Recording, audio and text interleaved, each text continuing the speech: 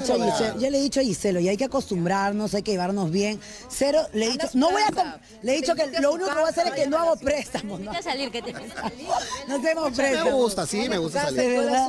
Sí, por supuesto. Me gustaría para que tengamos esa química. Además vamos a hacer notas divertidas. Ya me imagino ya con la química, no sé qué Tengo proyectos, pero eso sí, si no lo hace bien, lamentablemente voy a tener que sacarla. Pronto estamos ya pensando, hoy día dije, ay, nos vamos a hacer, no sé, un, dúo a lo Pimpinela, ya por último. Claro, nos juntamos, tenemos que mezclarnos. Así que, Porque tú no tienes pelos en la lengua, tú aportas, que se tú agua- opinas. que se aguante otra. o sea, se de hecho, otra. escúchame, de hecho que soy imperfecta totalmente, como todo ser humano, ¿me entiendes? Pero también soy consciente con la realidad. Entonces, Y tiene, bueno, una de vida, tiene una vida como nosotras y tiene experiencias que va a compartir y va a contar. Así es que prepárense porque estamos no recargados, estamos recontra reforzados.